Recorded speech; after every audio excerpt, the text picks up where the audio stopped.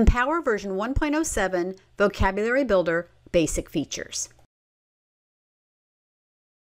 In this video, you will learn how to temporarily limit the words on your screen using Hide All and Show All. When using Vocabulary Builder, it will be important to know if you want to start with all of the words hidden and choose the ones you want to open, which would be starting from hide all, or if you want to show all of the words and just limit a few words from being shown on the screen. In that case, you would start from show all. Go into menu, vocabulary builder, and if it is off, you will see this message, vocabulary builder is off. You can turn vocabulary builder on and off by selecting the toggle. Vocabulary builder is turned on, and you can see all of the icons are grayed out.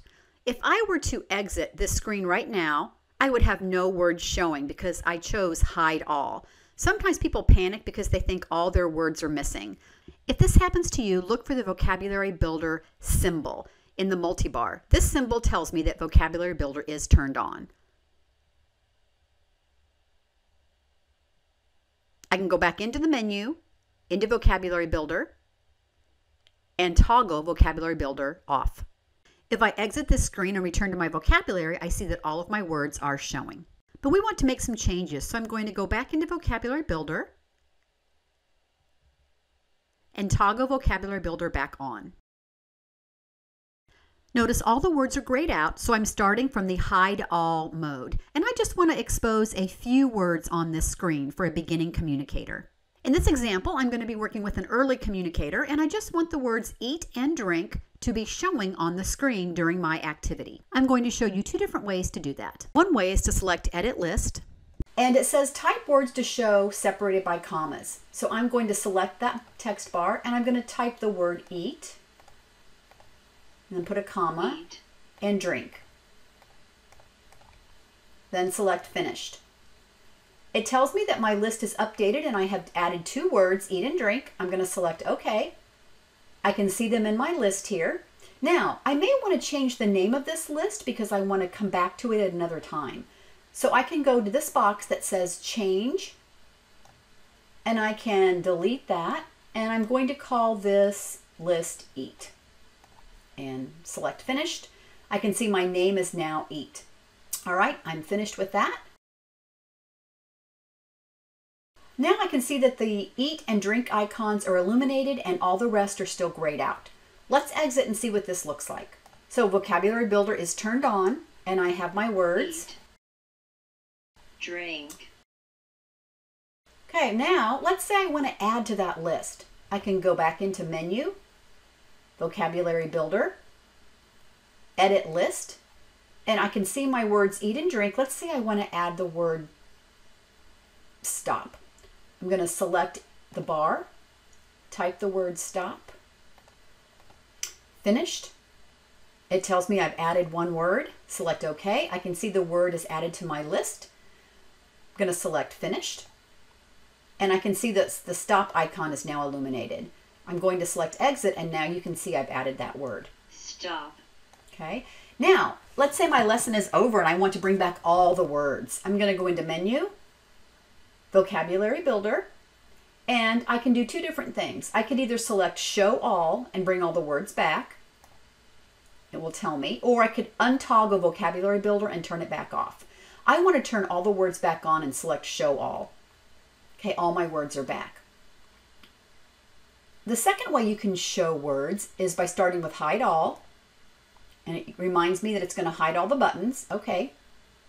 Okay, they're all they're all grayed out. And I know the icon sequence to say the word eat. So I can just directly touch that sequence and then select go back. And now I can see eat is illuminated. Okay, I'm going to select drink and go back. So now I can see I have eat and drink, exit, and I've got those words again on the screen. I'm going to go back into menu and vocab builder. So you can use that direct icon sequence if you only are limiting, um, you only want to have a few words showing and you know the pathway to find those words. All right, I'm going to show you um, how to, let's see, let's first bring all these back. Okay, I'm going to show them all again. And I'm going to exit. All my vocabulary is showing. Let's say I want to just hide one word. So I want to start from show all, and I'm working with a young child, and I don't need the word coffee showing. Coffee. So I want to hide the word coffee. I'm going to go back into my menu, vocabulary, make sure that vocabulary builder is toggled on. I want to start from a show all, so now all the words are showing, nothing is grayed out. And I can go to edit list, and it says hidden words. So this time I'm going to type the word I want to hide. I want to hide the word coffee. And select finished. So there's one word hidden. I can say okay. Finished again. Exit. And now if I go back, I can see that coffee has been hidden.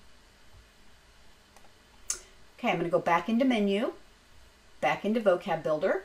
I want to show all the words, so I'm going to bring that word coffee back. Okay, I'm going to exit so I can show you that it's back. Drink, and there's coffee again. Okay, let's go back into vocabulary builder, and I want to show you how you can hide that word using the pathway. So I know how to say the word coffee, so I'm starting off showing all the words. I'm going to select drink, coffee, go back, exit. I'm back in my vocabulary. If I go to drink again, I coffee is gone. So there are two different ways that you can hide. You can use edit list or you can go directly to the pathway if you know what it is. To learn how to use word list in Vocabulary Builder in Empower 1.07, watch the video tutorial Vocabulary Builder Advanced Features.